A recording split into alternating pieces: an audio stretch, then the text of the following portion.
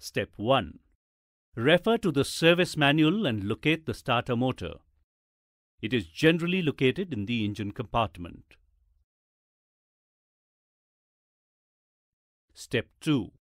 Locate the three electrical connections of the starter motor.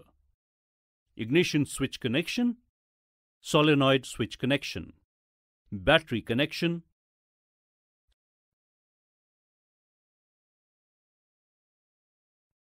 Step 3. Applying pressure, pull out the ignition switch connection and disconnect it.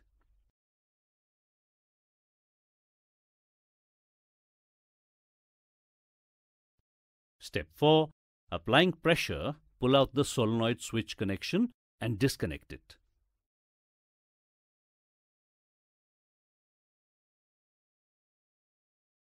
Step 5. Remove the battery protective cover by gently pulling it out.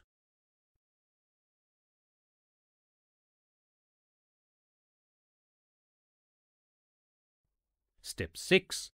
Holding the battery cable firmly and using a suitable spanner, loosen the fastening bolts.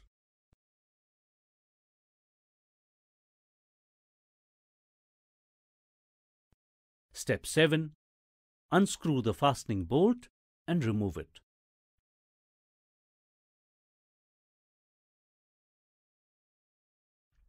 Step 8. Remove the battery wire out and disconnect the battery connection of the starter motor.